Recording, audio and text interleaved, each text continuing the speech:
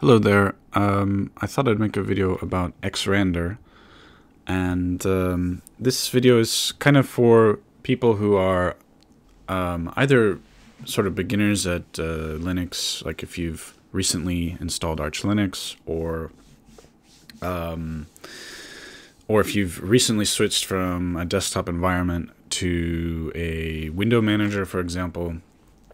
Uh, this might be useful for you. Um, now, I don't know anything about Wayland. I've been thinking of switching to Wayland, and that's kind of part of why I'm making this video. Um, I just kind of want to put out there uh, some of my limited knowledge about Xrandr. There's a lot of things you can do with Xrandr.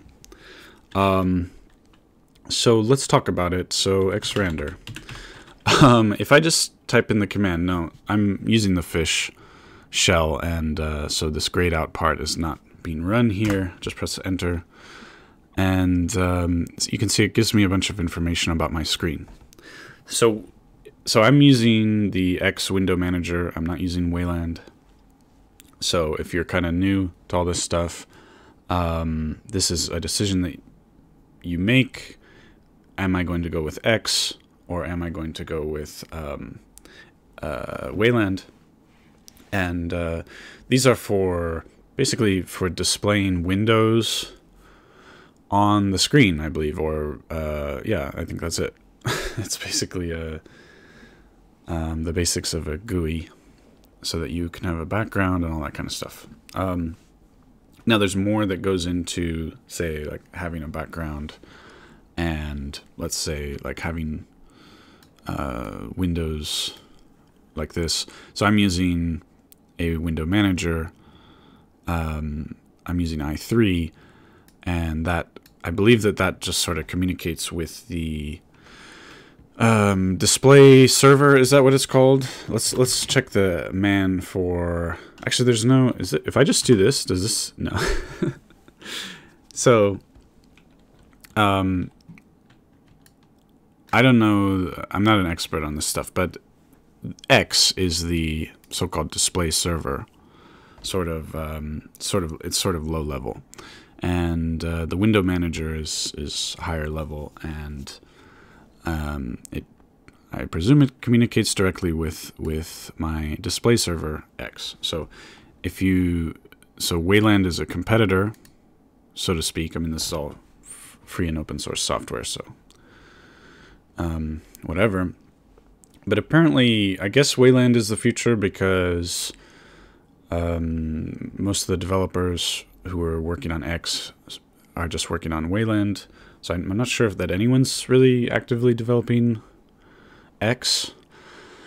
Um, what else? Uh, yeah, and Wayland has had issues, but they're getting ironed out. Um, so that would be maybe for another video for another time. But um, that's why I'm thinking of switching to Wayland. I don't think there'll be much benefit for me. I do occasionally have I do have some screen tearing sometimes, particularly uh, with video content, and it's never really bothered me very much. But that's one thing that hopefully would be fixed with Wayland. Hopefully. Um, anyway, so I, I haven't switched because there are there have been some lurking issues, but I think any of the issues that I would have had have been recently resolved in Wayland, I think. So that's why I'm thinking of switching. And uh, one of them was global keys, but whatever. Let's get back to Xrandr. So this is um, telling me about my displays. Now, so you'll use Xrandr, assuming you're using X. Again, I don't know anything. This is not has nothing to do with Wayland. I don't know anything about Wayland. So setting that aside. Um, if you're using X and you use Xrandr, um, for example, if you want to switch your, well, for, for example, my primary display is on the right. I'm having, I have two displays right now, and uh, by default, it sets the primary. Well, it doesn't know right or left, right? It doesn't know how I position my displays. Um, I presume it it's based on it picks a default based on which port it is on my graphics card but anyway the point is that they were on the wrong side so when I would uh, move to the left for my monitor on the left uh, it, before it would block and I couldn't move and I'd have to access the monitor on my left, I'd actually have to go over here to the right. So, you know, you need to switch those around. So that's one example. Um, so let's look at some of the commands that I'm commonly doing with um, xrandr. So this is the one I was just talking about. This is uh, uh, setting output left of. So you have these outputs, uh, HDMI 0 in my case, and DP0 um, are my two displays here.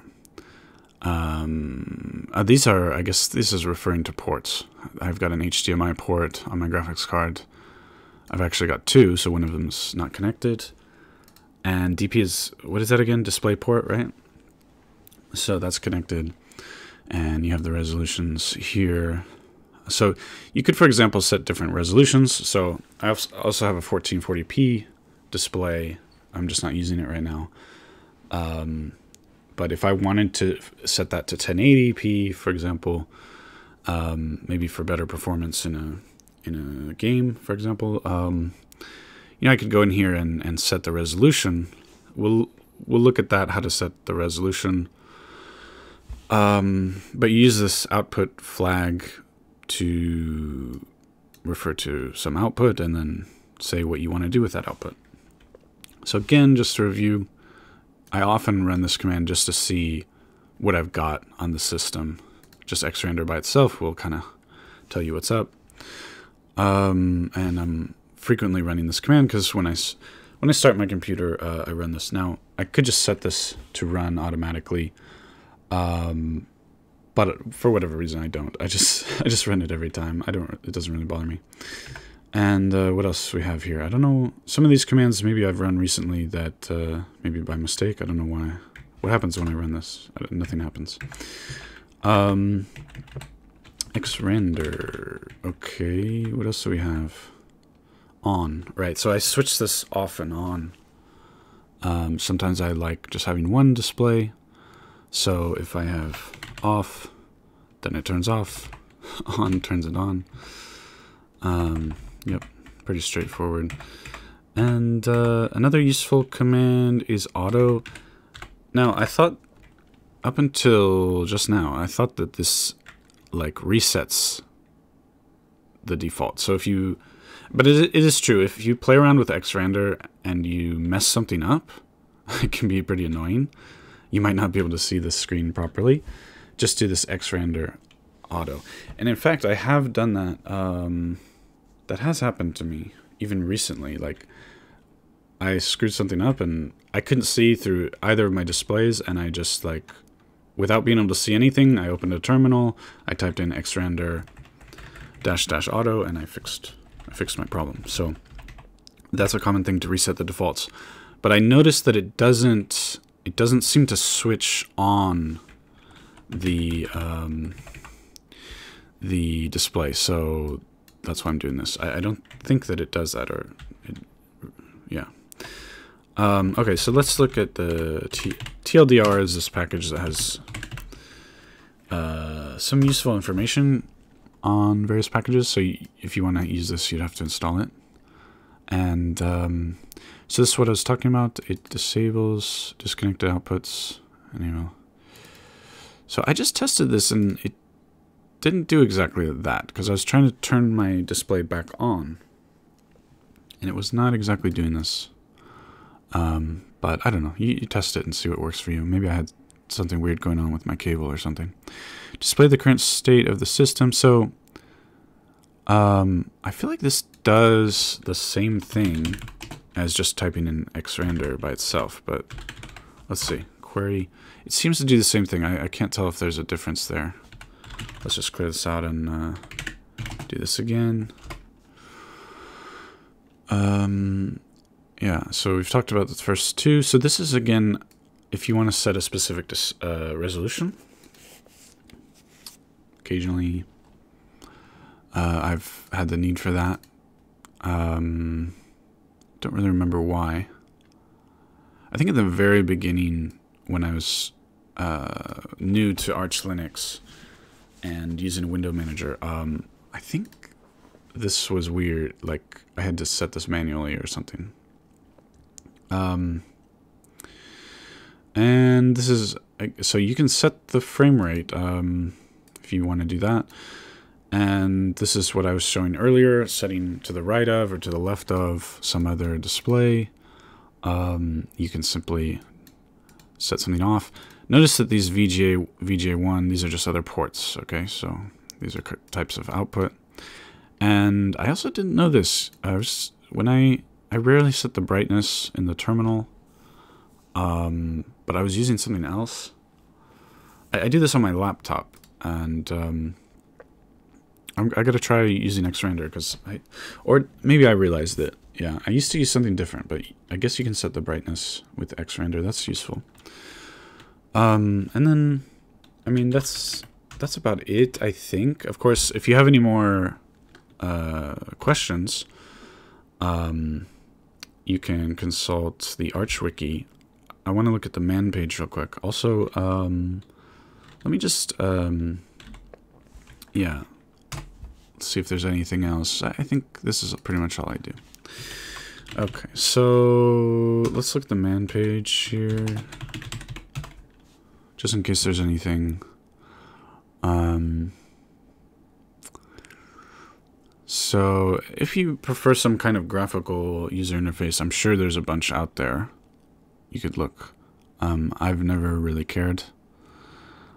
So I don't, I kind of think that uh, what I've shown you already is probably enough.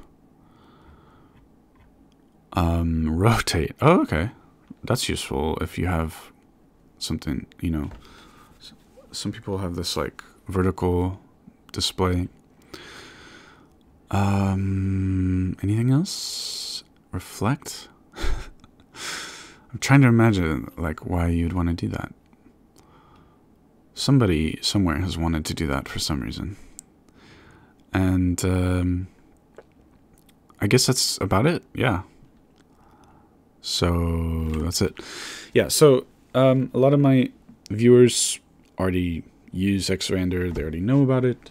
But in the past, I've made videos on, uh, say, installing Arch Linux and getting some things set up, getting Polybar set up. I have videos on that.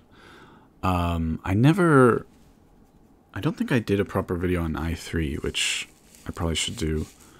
Um, there were some, I wanted to make a video on i3, but there were some things that I didn't fully understand well enough for making a video as far as, as far as I thought. Um, anyway, yeah, it's a simple, simple video, just kind of for, intended for beginners, if you will. So, if this was helpful to you, please leave a like. Um, consider subscribing, helps me out. And uh, that's it. Thank you very much. Bye.